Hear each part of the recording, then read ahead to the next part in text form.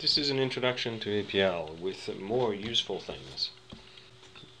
In APL there is a notion of primitive function. Here primitive means first that cannot be broken down into any further. For example, plus, minus, uh, product and division and uh, reshape. Yes, reshape is a function. They're all primitives. They cannot be broken down any further. There is also the notion of scalar functions. These functions act on one number at a time. For example, you see three numbers plus two. Each number is added one by one. So you have three numbers, you add one to each, you get three numbers. It's the same for matrices. They act on one number at a time. If I have two rows and three columns of numbers, then each number in each row and each column will be acted upon.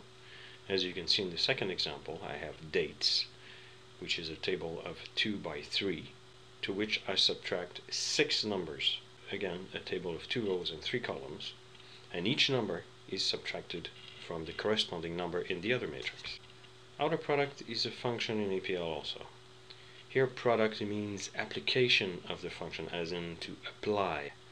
For example, to apply addition between two sets of numbers, say 10 and 100, and three numbers, 1, 2, and 5, then I would use the following syntax. 10, 100, jot, which is the little character you see there, dot, plus 1, 2, 5. Meaning that the 10 will be added to 1, 2, and 5 on the first row, and 100 will be added to 1, 2, and 5 on the second row, resulting in a table in a matrix of two rows and three columns. The jot symbol can be entered with Ctrl J. Here's another example, a multiplication table for the numbers from 1 to 5.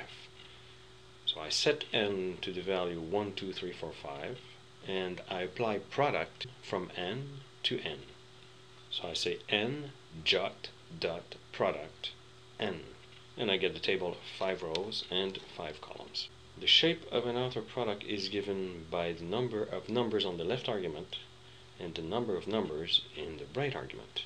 So if I have two numbers on the left and nine numbers on the right, I will get a table of two rows and nine columns. Here's another function, the power function.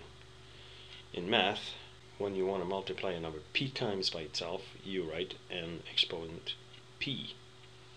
For example, if you want to multiply 2 6 times by itself, you would write 2 exponent 6. This is the same and simpler here as saying 2 times 2 times 2 times 2 times 2 times 2. In APL, if you want to multiply a number p times by itself, you write n star p. Star as in there's power in a star. For example, if you want to multiply 2 6 times by itself, you would write 2 star 6. The power function can also be used to find roots in math. If you want to find the square root of a number, you use square root of n, or n exponent 1 half or n exponent 0.5. To find the fourth root, you would use the fourth root of n or n exponent 1 quarter or n exponent 0.25. In APL, if you want to find the square root of a number, you do the same. You do n star 0.5 and for the fourth root, you would use n star 0.25. Here's an example you want to find which number is 10 multiplied by itself 4 times. So you would say 10 exponent 4, 10 star 4, which is 10,000. If you want to find the number which multiplied by itself will yield 64, in other words, you want to find the square root of 64, you would say 64 exponent or star 0.5. Another one, if you want to find the number which multiplied by itself 3 times will yield 64, you would say 64 exponent 1 divided by 3 or 1 third. And if you wanted to find the square and the square root of 16, you would say 16 star 2 for the square and 0.5 for the square root. Here you have 16 exponent a list of numbers. Logarithms. The logarithm function, also called log, is the inverse of power. With power you can ask, give me 10 multiplied by itself 3 times, or give me 10 exponent 3. With log, you can ask, how many times do I have to multiply 10 to get 1000? That is 10 log 1000. The log symbol is found um, by using Control Shift 8 in Dyalog. Here's another one. How many times do I have to multiply 2 to get 8, to get 32? How many times do I have to multiply 3 to get 81? In APL, we can answer all three questions at once by saying 2, 2, 3, log 8, 32, 81. So, 2, how many times do I have to multiply 2 to get 8? How many times do I have to multiply 2 to get 32?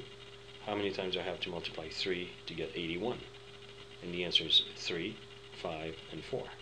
You want a proof? Here it is. 2 exponent 3 is 8, 2 exponent 5 is 32, and 3 exponent 4 is 81. Here's an example for accountants. How much money will I have if I put $10,000 at 12% interest for 15 years? Here's the answer. Over $54,000. How many years will it take to get $5 if I invest $1 at 8%? It will take over 20 years. Scaled or exponential notation. Well, when numbers are too big or too little, APL uses a different way to express numbers called E-notation. It's engineering notation. For example, the number 1 billion can be written in APL as 1E9, that is 1 times 10 exponent 9. Here's another one. 2 exponent 1000 is over 10 exponent 301. That part before the e is called the mantissa, and the part after the e is called the exponent.